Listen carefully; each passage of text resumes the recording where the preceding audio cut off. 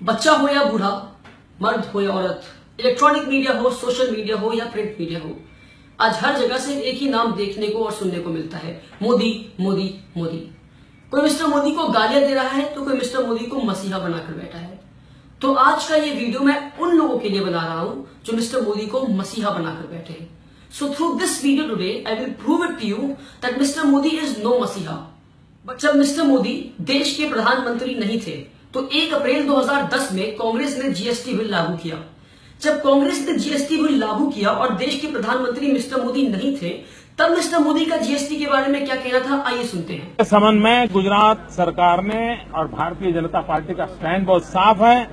GST के संबंध में हमने कहा है कि आपकी जीएसटी का सपना तब तक पूरा नहीं होता, तब तक साकार नहीं हो सकता, जब तक कि आप पूरे देश में टैक्स पेयर के साथ आईटी इंफ्रास्ट्रक्चर का नेटवर्क नहीं बनाते। जीएसटी कभी सफल नहीं हो सकता। जीएसटी कभी सफल नहीं हो सकता। जी हाँ जैसा कि हमने देखा कि मिस्टर मोदी ये कहते हैं कि जीएसटी इस देश में कभी नहीं आ सकता और जीएसटी इस देश के लिए हानिकारक है। पर अब जब मिस्टर मोदी देश के प्रधानमंत्री बन गए तब उनका जीएसटी के बारे में क्या कहना है आइए सुनते हैं। जीएसटी का मतलब है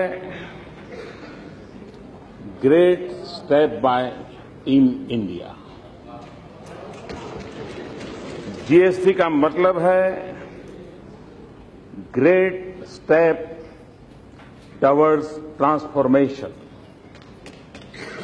GST का मतलब है ग्रेट स्टेप्स टवर्ड्स ट्रांसपेरेंसी अब मिस्टर मोदी जब देश के प्रधानमंत्री बन गए हैं, तब वो कहते हैं कि GST is great step towards transformation and great step towards transparency तो इससे यही साबित होता है कि मिस्टर मोदी देश का भलाई नहीं चाहते हैं। जब वो ऑपोजिशन में थे तो वो ऑपोजिशन वाली काम कर रहे थे। अब जब वो प्रधानमंत्री बन गए हैं, तब वो जीएसटी के लिए बोल रहे हैं। तो इससे यह साबित होता है कि मिस्टर मोदी इज़ नो मसीहा but he is a simple politician who has been playing his dirty politics for the past so many years जब मोदी जी देश के प्रधानमंत्री नहीं बने थे और कांग्रेस एफडीआई यानी कि फॉरेन डायरेक्ट इन्वेस्टमेंट लागू करने की कोशिश करता है और मिस्टर मोदी तब ऑपोजिशन में थे, तब उनका एफडीआई के बारे में क्या कहना था? आइए सुनते हैं। भाइयों बहनों, कल प्रधानमंत्री ने जो निर्णय किए हैं, ये निर्णय चौंकाने वाले हैं। अब किराना कौन बेचेगा? विदेशी लोग। चाय कौन बेचेगा? विदेशी। चावल कौन बेचेगा? विदेशी। गेहूँ कौन बेचेगा? हल्दी कौन बेचेगा? मिर्ची कौन बेचेगा? इसके लिए विदेशियों के लिए दरवाजे खोल दिए। हमारे देश के छोटे छोटे व्यापारियों की दुकानों पे ताले लग जाएँगे।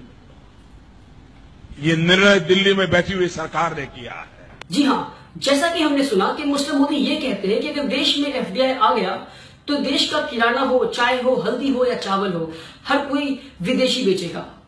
और जो छोटे मोटे व्यापारी है देश के, वो बर्बाद हो जाएँगे। पर जी नहीं, जब मिस्टर मोदी देश के प्रधानमंत्री बन जाते हैं, तब उनका एफडीआई के बारे में क्या कहना है? आइए सुनते हैं। भारत में भी बहुत बड़ी मात्रा में विदेशी पूंजी की ज़रूरत है। फॉरेन डायरेक्ट इन्वेस्टमेंट की आवश्यकता है। और जब मैं एफडीआई कहता हूँ तो मेरे दिमाग में एफडीआई एक साथ दो विषय लेके चलती है। दुनिया की नज़रों में एफडीआई है फॉरेन डायरेक्ट इन्वेस्टमेंट लेकिन उस समय मेरे दिमाग में है first develop India foreign direct investment की आवश्यकता है। जी हाँ मिस्टर मोदी कहते हैं कि देश को एफडीआई की ज़रूरत है। मिस्टर मोदी कहते हैं कि एफडीआई यानी first develop India. Ladies and gentleman once again this is what we call is hypocrisy जब वो ऑपोजिशन में थे तो वो ऑपोजिशन वाले काम कर रहे थे। So one person who has two faces one person in two different position acts in two different ways this is a sign of a hypocrite so hence proven ladies and gentleman that this man is no मसीहा मोदी ये कहते हैं कि उनको देश की एक particular community की औरतों को उनका हक दिलाना है।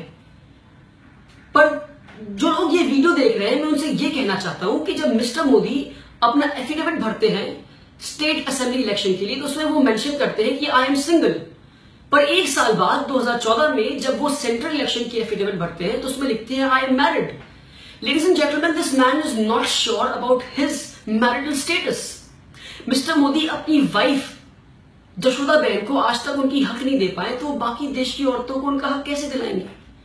Ladies and gentlemen, try and understand that this man is no Masiha, but he is a simple hypocrite man. आप जो वीडियो देख रहे होंगे आपको मुझ पर बहुत ज़्यादा गुस्सा आ रहा होगा। सारे भक्तों को मुझ पर बहुत बहुत ज़्यादा गुस्सा आ रहा होगा कि ये क्या कह रहा है। मैं बस आपसे सारे भक्तों से सिर्फ़ एक बात कहना चाहता हूँ एक बार अपना हाथ अपने दिल पर रखकर एक सवाल कर ले कि ये जो बच्चा आज वीडियो में कह रहा है, क्या वो सही कह रहा है या गलत कह रहा है? जी हाँ अगर मैं गलत कह रहा हूँ तो मेरी वीडियो को ना देखें आप।